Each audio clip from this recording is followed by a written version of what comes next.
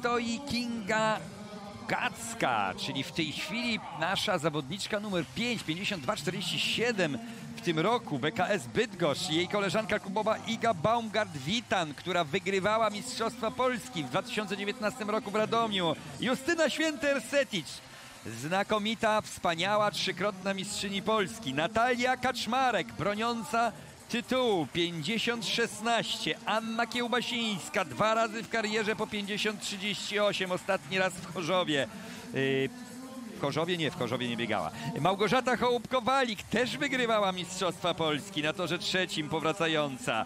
Alicja Wrona na torze drugim. AZS UMC z Lublin podobnie jak Małgosia Hołubkowalik 52-84 i Anna Pałys a- AZS AWF Wrocław 52-91, a w tym roku 53-14.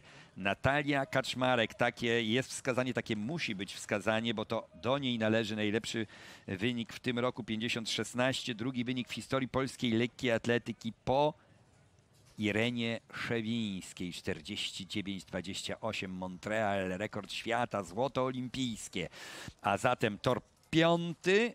Justyna ucieka Natalii, a Anna Kiełbasińska je broni, jeżeli chodzi o te trzy faworytki. Iga z kolei na siódmym torze.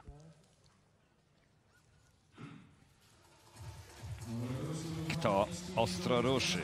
Czy Ania się na to zdobędzie? Ona ma świetny start jak to sprinterka i tak też ruszyła. Bardzo dobrze Natalia, już niemal dogoniła Justynę Święty Ersetic. Natalia niemal się z nią zrównała. Ania teraz troszkę jakby dała sobie na tej drugiej prostej przeciwległej na wstrzymanie. Natalia, biorąc pod uwagę wyrównanie, prowadzi, ale Justyna też się rozkręca. Natalia Kaczmarek Justyna Święty Ersetic. Ależ to jest walka. Iga też się włącza na tym siódmym torze. Yy, Anna Kiełbasińska w tej chwili jest druga, trzecia.